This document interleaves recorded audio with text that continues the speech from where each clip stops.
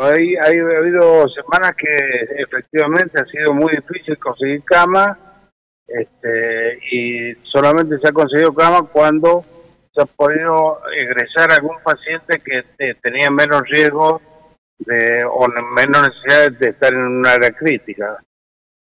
Perfecto. Em, hay, em, en, cuanto a la ocupación en general en el sector privado, que es donde usted conoce seguramente, eh, hay más pacientes que COVID que de cualquier otra patología. Este número se sigue manteniendo, ¿esto es así?